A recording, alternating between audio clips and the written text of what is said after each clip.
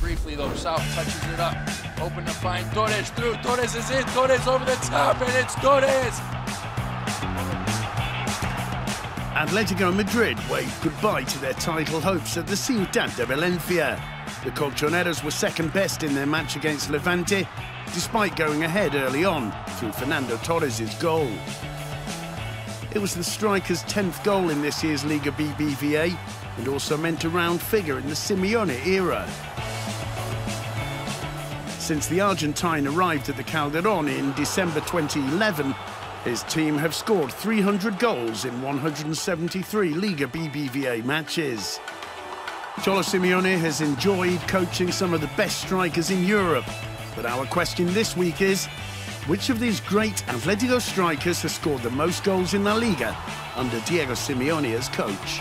Have a think about it, and at the end of the programme, we'll reveal the answer.